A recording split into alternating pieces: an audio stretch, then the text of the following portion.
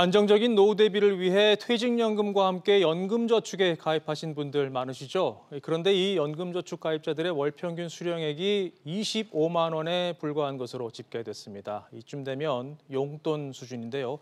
가입자 역시 경제활동 인구 5명 중 1명 수준에 그쳤습니다. 오정인 기자가 보도합니다.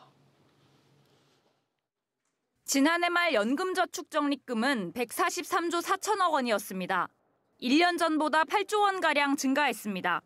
하지만 이 같은 양적 성장세에도 신규 가입이 줄고 가입률이 낮은 것으로 나타났습니다. 한 해 동안 가입자들이 낸 돈은 9조 7천억 원, 1년 사이 3,900억 원 감소했습니다. 대부분은 세액 공제 한도, 연간 400만 원 이하로 납입됐습니다. 신규 계약은 28만 3천 건으로 1년 전보다 7.6% 줄었습니다.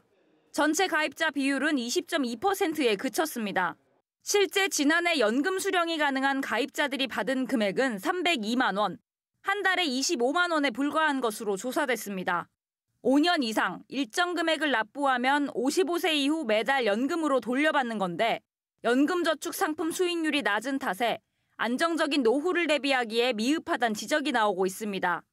시장 기율에 의해서 수익률이 제고될 수 있도록 비교 공시도 좀 강화하고 세제 확대를 위해서 한계기간과 계속 지속적으로 협의할 계획입니다.